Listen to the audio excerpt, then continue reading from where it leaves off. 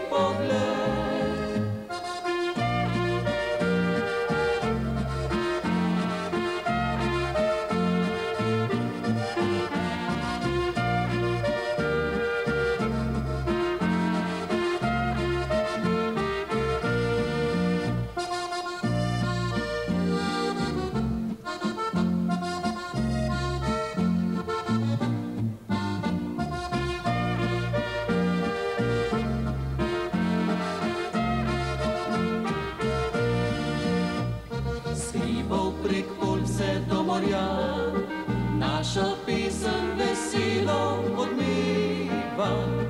Dobra nam volja zdravja da, rujno vince prijatelje odreva. Zlata nas jutra prebudi.